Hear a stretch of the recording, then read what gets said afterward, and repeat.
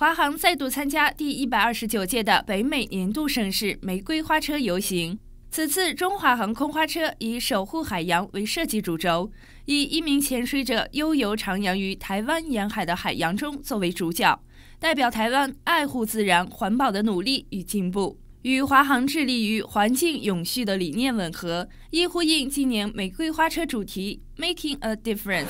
那么，华航从一九八七年开始到二零一八年，已经持续三十二年参加北美这个玫瑰花车游行，其中我们也获得了二十六年的得奖啊。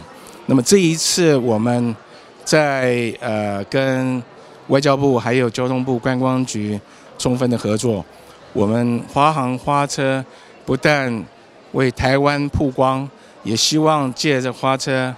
吸引全球更多的旅客能够搭乘华航到台湾，呃，亲身来体验台湾美丽的风光。那二零一八年整个华航也是一个很重要的里程碑。那我们从三月二十五号开始开拓了洛杉矶另外一个航点，就是在 Ontario 安大略机场。那我们一开始三月二十五号就推出。每天一班的 daily flight 都是用波音777来最新的航机来提供这个服务。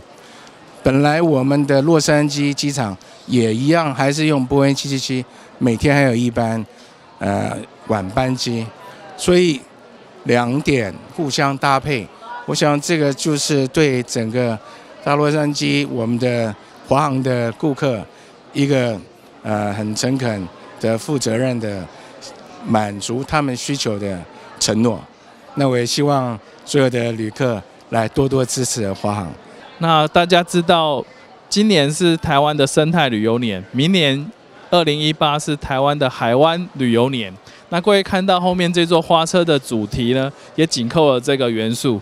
那台湾是一个海岛，除了台湾周边，还有从龟山岛、绿岛。蓝屿、小琉球、澎湖、金门、马祖等等，各有各的风情特色。龟山岛的赏金豚，蓝屿的原住民文化，绿岛、小琉球的潜水、浮潜，那澎湖的海鲜美食、双星石斛，再加上马祖、金门的战地风情，那这些构筑的台湾二零一八海湾旅游年的主轴。那同时呢，中华航空公司也新开辟的安大略航线，即将在三月开始服务各位。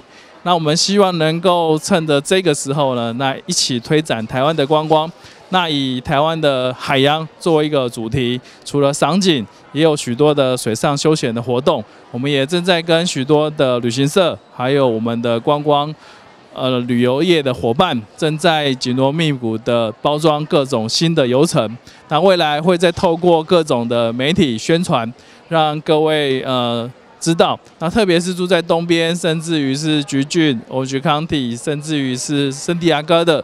民众或者是朋友们都可以利用的这个安大略机场的这条航线呢，能够更便捷的到台湾去旅游。华航参展的是全长五十五尺、高三十五尺、宽十八尺的动态中型花车，以海洋为基座主体。一位潜水者身旁有绿海龟、雷氏蝴蝶鱼、红小丑鱼鱼群相伴，海底则是有多彩缤纷的珊瑚及海草。花车以丰富干净的海洋。显示人们对于海洋生态保护意识抬头，展现在自然环境中不屈不挠的精神及对自然环境的尊重。花车由四十余种生意盎然的花卉、植物等装饰而成，营造出台湾丰富自然生态及壮丽海底风光。天下卫视采访报道。